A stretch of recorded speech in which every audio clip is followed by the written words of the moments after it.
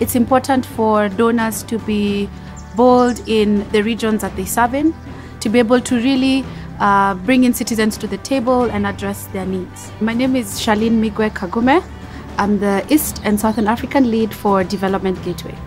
Um, as an ecosystem, so to donors and private sector and even development partners who are funding and supporting some of these emerging technologies, please to really think through how these technologies are really impacting the end users, thinking through challenges that we've seen these technologies have, and also you think through stronger use cases for these technologies and not rolling out some of these uh, solutions for the sake, but thinking through stronger impactful use cases for some of these technologies.